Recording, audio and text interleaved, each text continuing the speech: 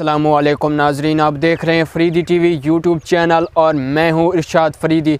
नाजरीन, यहाँ पर आपके साथ एक अहम खबर शेयर करते चलें कि तहरीक लबैक पाकिस्तान के ज़िला बहावलपुर के अमीर सैयद आमा शाह साहब बुखारी जब मोटरवे पुलिस से आगे गुजरे और मोटरवे पुलिस वालों ने उन्हें रोक लिया और अप्लाइड फार गाड़ी पर जुर्माना किया जिसके बाद नाजरीन, उन्होंने जुर्माना भी अदा कर दिया। जुर्माना अदा करने के बावजूद जब पुलिस वाले ने सैयद अहमद शाह साहब की गाड़ी के पीछे फ्लैक्स देखा, जिसमें अलामा खादम हुसैन रिजवी रहमत और तहरीक लबैक पाकिस्तान के हवाले से गाड़ी के पीछे फ्लैक्स लगा हुआ था तो पुलिस वाले ने उनके उस फ्लैक्स की वजह से उनके साथ बदतमीज़ी की, जिसकी वीडियो भी मैं आपके साथ शेयर करने जा रहा हूँ नाजरीन। तो नाजरीन, आइए हम आपको वो वीडियो दिखाते हैं।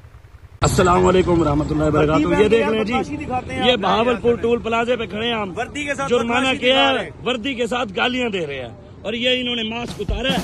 ये बदतमीजी भी कर रहे हैं। आराम, आराम, आराम, हाथ तू हाथ लाया। तू सानू कानून है खुदा तू